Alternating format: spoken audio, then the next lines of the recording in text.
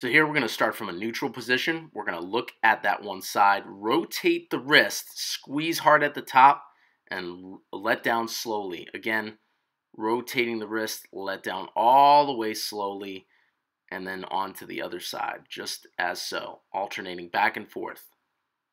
Notice how we start from neutral each time, palms facing the body.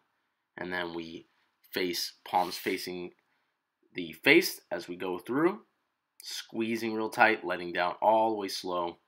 Good control the entire time, especially on the bottom.